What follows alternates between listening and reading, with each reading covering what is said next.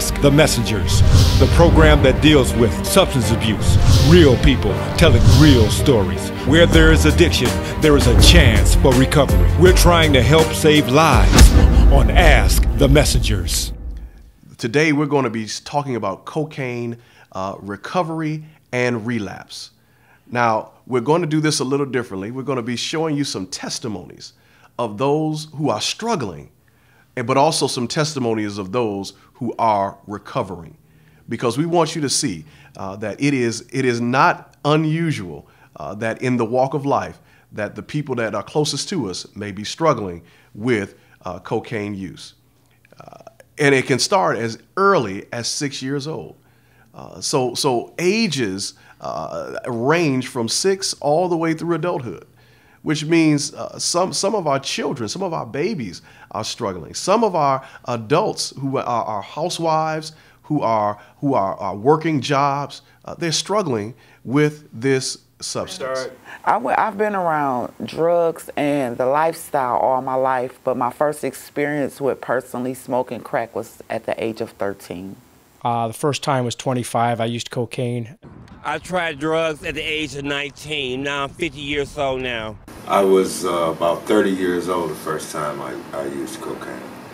I'm 41 years old. I first started using crack at the age of 35. I think I was about 18. From thir- I used cocaine from 30 to 35 before I took a break. And I picked back up about 37 years old. And I quit again about about 40, at about 40, and I'm 50 years old now. Have I figured out why I started using in the first place? You know, I could sit up here and tell you all kind of garbage.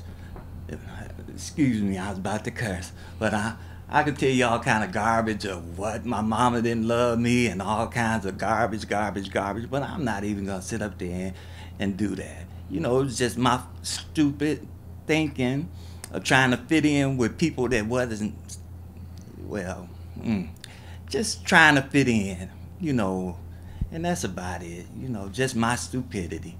I was selling cocaine at the time to uh, a lot of professional people, I would say, uh, models, producers in the industry, and um, they asked for a crack, and I brought it, and uh, I stayed for the entertainment. You know, the models were looking really good, so mm. they was doing crack.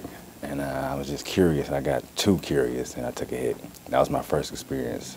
I was with some friends I was going to school with, and um, we started hanging around a dude that they were making extra money with. They were making extra money by um, prostituting, selling his drugs, recruiting people. Um, and um, this was around the era when um, people started wearing Adidas and starter jackets and things of that nature. And um, where I was raised, my grandmother, my grandparents weren't big on those things. People were dying for shoes and coats back then. But I still wanted to be like my friends I went to school with. So one day after school, I went with them and started selling drugs in the house, and I started using it.